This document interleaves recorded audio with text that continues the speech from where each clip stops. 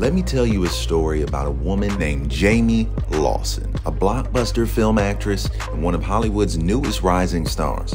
She's graced film screens across the world and shared scenes with some of Hollywood's most talented actors. But before we knew her as Jayme Lawson, the movie star, she was Jayme Lawson from VCMI DC, a budding teenage artist with a heart to serve the house God placed her in. For years, she freely gave her time and talents to support the ministry by serving in our drama department, hosting acting workshops, and even co writing our Christmas plays. After moving to New York to pursue her career in acting, from the outside looking in, her progress seemed to happen supernaturally. She seemingly went from church Christmas plays to red carpet Hollywood premieres overnight. One door opening after the next, one opportunity leading into another. But when success stories like this happen, rarely do we get to see the process that went into the progress. Today, Jayme's going to give you an inside view of what her journey to great progress actually looked like behind the scenes. And you might be surprised at the unusual path God led her through. We hope Jayme's story encourages you that no matter what part of the journey to progress you're in, no matter what it looks like or feels like, if you trust, hear, and obey God, you will see great progress if you just keep going. Hello, VCMI family. Hello, ladies. I hope you are having a blessed day, being fed and blessed with the word at this conference. Um, I was asked to give a quick testimony, uh, so I won't be before you long. I won't take up too much of your time. Um, I remember last year the the word that was spoken over us was it was the year to level up right? And then the apostles added on to that this year that it was the year of progression progress with no limits right oh, I was excited. I streamed that and I was charged. Like, oh yeah, that's right, right? Everything that I've been believing God for, everything that He's promised me, everything He's given me vision for. Oh, this is the year, this is the time to move forward and not just move forward, but to go crazy, right? When I hear progress with no limits, that means we about to go crazy, okay? So I was hyped, right? Uh, and and I already had a vision of what that looked like. The kind of effort the kind of blood sweat tears grind hustle the kind of like we gotta dig deep and go for it. And then God immediately sat me down and said um I'm gonna need you to rest. As a matter of fact not only do I need you to rest I'm gonna need you to ease up all the way. I'm gonna need you to take your foot off the gas and I'm gonna need you to let go let go of every single thing that you're believing me for, every single thing that I've given you promise to, or that I've even placed in your hands. I now need you to let it go. Excuse me? I'm sorry, God. Um, how does that work? Right? Because I grew up in a society in which when you tell me it's the year of progression, that it's time to move forward, well, then that looks a certain way. It don't look like me sitting back, chilling, resting up, and letting go of everything that you've placed before me. I didn't understand it, but I still had to obey. Probably for the first time was I really putting into, into practice how to obey without understanding, which is true obedience in the first place. And so I began to go through the year, not understanding, but here we go. Letting this go, letting that go, surrendering, praying, believing. And we get about halfway through the year and things begin to break down. I don't know if I'm sure some of y'all have felt that experience of things just breaking down. I mean, your mind, your spirit, your heart, your relationships, your circumstances, everything around you just seems to be breaking down. Your hope breaking down. And it's like, wait a minute, God, this don't seem to line up with what the word that the apostle spoke over me. This don't line up with the words that Pastor Cynthia and, and Tyrone Marshall spoke over me. The Amos 913 blessings, blessings, blessings that was promised to me years ago. This don't seem to line up with nothing you've said. Why is it breaking down? Why am I breaking down? This how you gonna do me? That's how I felt. And um, I kept reading my word. Kept praying, I kept trusting, and I, I God gave me new revelation over the scriptures, you know, where Jesus is um, breaking the, the, the fish and the loaves to feed the multitude. And God, He showed me that when it's in my hands, when I break things, they crumble into nothing.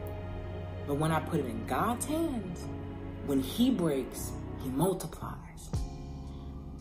And I began to just feel like that was the word that I needed to have a new perspective and understanding that things weren't breaking down. God was doing a breaking, but not to hurt me, not to injure me, not to harm me, but to multiply so that it was more than enough, not just to feed me, but to feed everybody attached to me, to feed everybody attached to the promise, right? Because it's not just about me. There's somebody, there are multiple people attached to the promise and the vision that he's given me. And so I began to now see that oh, my mind isn't breaking down, my spirit isn't breaking down. He's breaking things off of me so that there can be an overflow, an overflow for grace, for joy, for peace, for kindness, right? An overflow in my spirit. So that way, when I come in contact to the situations and the circumstances necessary, that I have the grace for it right?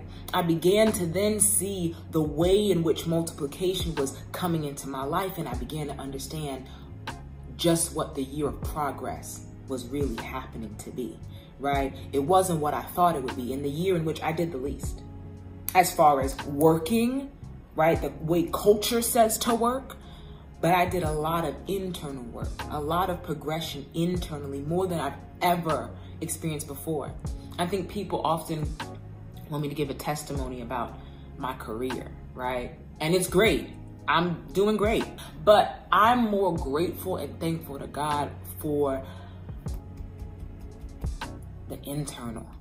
Like what he's brought me from, what he saved me from. He's shown me things that were deep in there that I had no idea I was dealing with. He made me face some of my crazy, made me face some of my insecurities, some of my doubt, some of my fears that I didn't even know I had. And this is the first time that I feel this whole that I feel this secure in my identity. And so before anything else, that is what I'm most grateful for, right? Scripture says that Jesus became poor that we may become rich. Not in just finances, not in, in my career.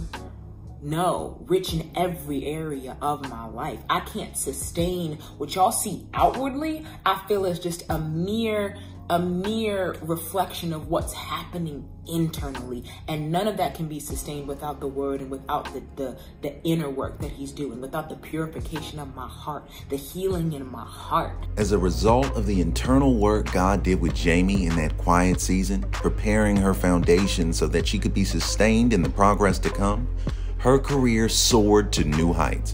And I do mean soared. While she sat still in obedience, God was making major moves and directing her path. What she freely put into God's hands, like her time and talents that she gave as an offering to God, serving in our ministry and drama department, He multiplied exponentially. After graduating debt free from Juilliard, which is a whole nother miraculous testimony in itself that we don't even have time to cover right now, Jayme first gained widespread recognition after starring in the Broadway play For Colored Girls, where her performance garnered praise from top critics and attracted the attention of agents and casting directors worldwide. From there, she landed a role in her first movie as the leading actress in Farewell Amor, an independent film where she starred alongside Blackish breakout star Marcus Scribner. The film was an official selection for the world renowned Sundance Film Festival, and her performance was highly praised. So much so that it led to her booking her first major Hollywood role, and boy, was it a great one. She was cast in one of the highest grossing film releases of 2021, the new Batman film, where she starred alongside Robert Pattinson as she portrayed the first female mayor of Gotham City a role she didn't even audition for.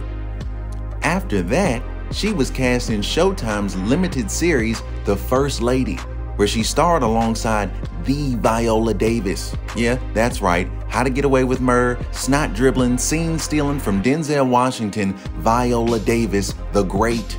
And get this, Jayme got to play a young Michelle Obama.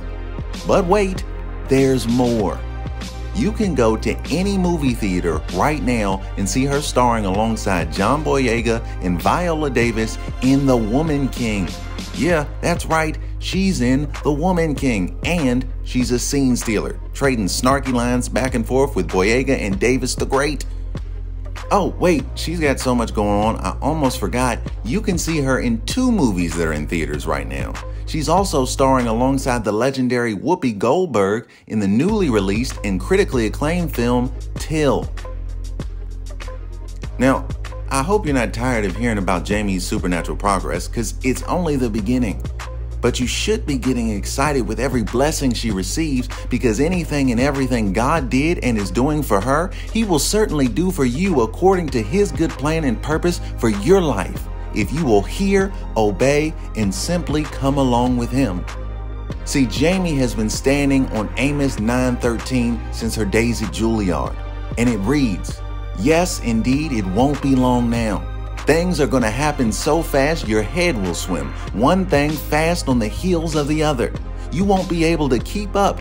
Everything will be happening at once, and everywhere you look, blessings, blessings, blessings. In other words, at only age 25, Jayme is experiencing supernatural progress with no limits because she decided to go along with God. And guess what? God loves you just as much as he loves Jayme. Just as much as he loved Abraham, Isaac, Jacob, Moses, God loves you just as much as he loves Jesus. So, how much more can you expect God's miraculous power to show up supernaturally in your life? Because as Jesus is, so are you in this world.